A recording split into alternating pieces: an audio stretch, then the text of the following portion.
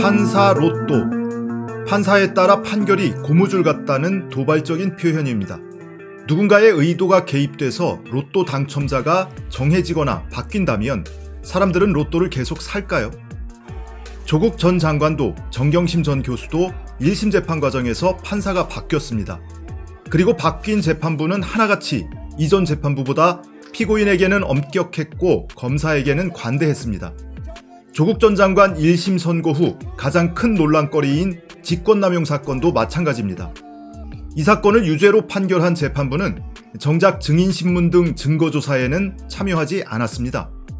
이전 재판부는 김미리 부장판사와 차승우, 서효성 판사, 김미리 재판부는 지난 2020년 3월부터 1년 동안 직권남용 사건을 심리했습니다. 두 번의 공판 준비 기일과 9차례의 본 공판을 거치면서 13명의 증인을 신문했습니다. 이 과정에서 검사들의 심기를 건드렸습니다. 언론과 국민의힘은 검찰의 우군으로 참전해 김 부장판사를 집중 공격했고 결국 직권남용 사건 심리가 마무리된 2021년 4월 선고를 남겨둔 채 돌연 휴직했습니다.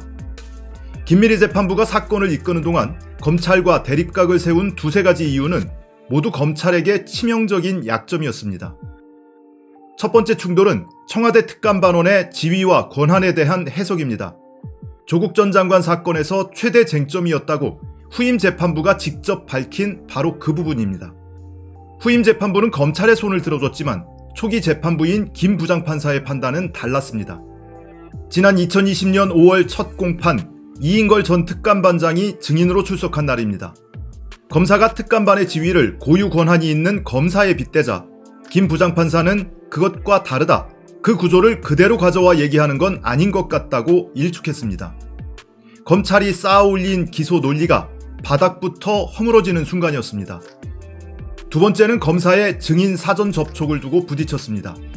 검사나 검찰 수사관 출신 증인들이 법정에 출석하기 전에 줄줄이 검사실에 방문했던 사실이 확인되는 순간이었습니다. 김 부장 판사는 처음 들어본다며 놀라움을 감추지 않았고 검사는 불법적인 것으로 여기는 거냐며 맞섰습니다. 이 논란은 다음 공판에서도 또 그 다음 공판에서도 이어졌습니다. 검사의 증인 사전 면담은 이후 김학의 전 차관 재판에서 무죄 사유가 될 만큼 검찰에겐 치명적인 약점이었습니다. 김 부장 판사가 있는 한 검찰의 앞날은 어두웠습니다. 김 부장판사는 조국 전 장관 동생의 사건도 맡아 6개 혐의 중 5개 혐의를 무죄로 판결했습니다. 검찰에 보다 엄격한 증명을 요구한 건데 검찰 입장에서는 앞으로가 더 큰 문제였을 겁니다.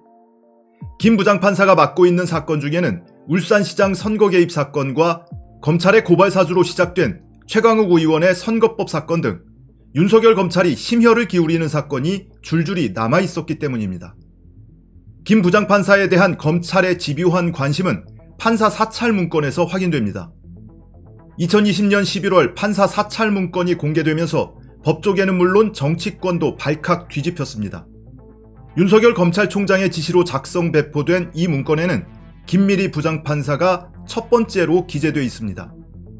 신성가족 우두머리의 관심 대상 1호 사건이 김 부장판사 손에 맡겨져 위기에 처했던 겁니다. 국민의힘은 김미리 부장판사를 집중 공격했고 언론도 사상 검증까지 하며 나팔을 불었습니다. 우리법 연구회 출신이라는 고정 레파토리도 다시 꺼내들었습니다. 심지어 유임 기간도 문제 삼았습니다. 결국 김 부장판사는 2021년 4월 휴직을 했고 재판장은 바뀌었습니다. 사유는 병가라고 하지만 기자들이 흔히 쓰는 표현으로 법조계에 따르면 본지가 취재한 바를 종합하면 검찰의 집요한 공격이 휴직의 배경이 된 것으로 알려졌습니다. 앞서 정경심 교수의 1심 재판부가 바뀐 과정도 비슷합니다. 재판 초기부터 위기에 처했던 검찰은 재판부 변경 이후 화색이 돌았습니다. 검찰 입장에서는 김미리 판사보다 더 무서운 존재가 정 교수 사건을 맡고 있었습니다. 2019년 10월 시작된 정 교수의 재판장은 송인권 부장판사, 공판 준비 기일만 무려 5차례를 거칠 정도로 검사와 변호인 그리고 재판부의 공방은 치열했습니다. 송 부장 판사는 표창장 위조 혐의에 대한 검찰의 공소장 변경 신청을 불허했습니다.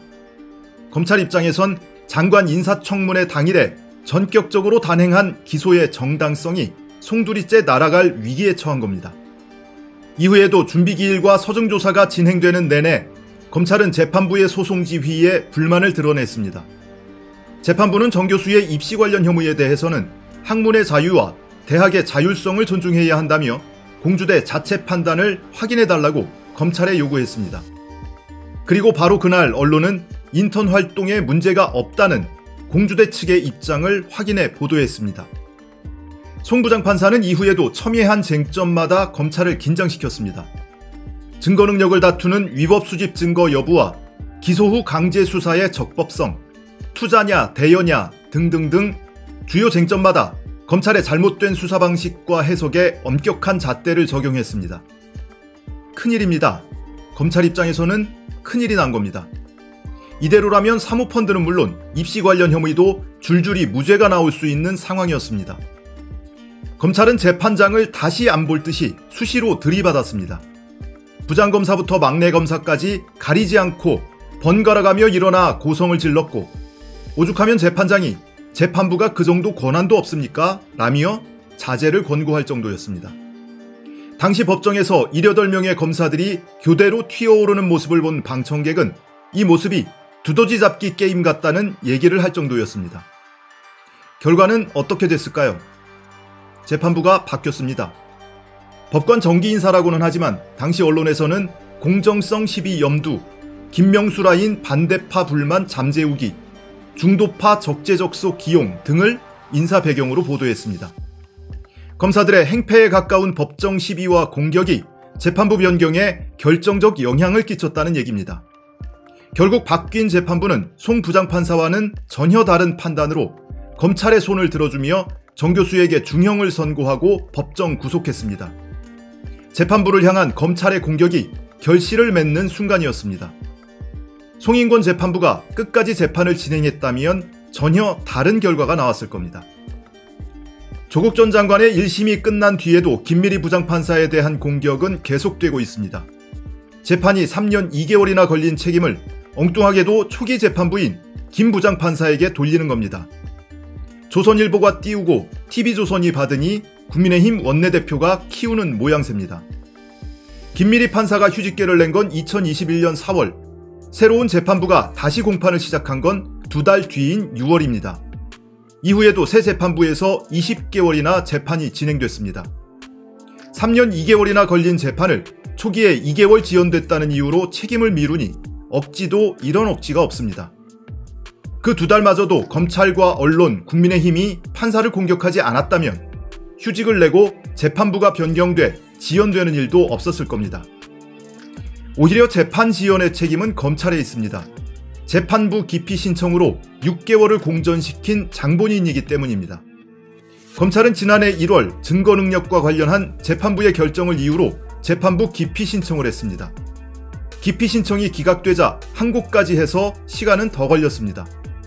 항고에서도 또다시 기각되고 재판이 재개되기까지 6개월이 걸렸습니다. 법정에서 두더지 잡기 게임을 주도하며 판사를 공격하던 고형곤 부장검사는 결국 판사가 교체된 끝에 원하는 결과를 얻어냈고 윤석열 검찰총장이 대통령이 된 뒤 서울중앙지검 4차장으로 영전해 이재명 대표의 대장동 사건을 지휘하고 있습니다. 그리고 또 조만간 법원 주변에서는 로또 판사를 만나기 위한 만나지 못한다면 만들어내기 위한 작전이 펼쳐질지도 모릅니다.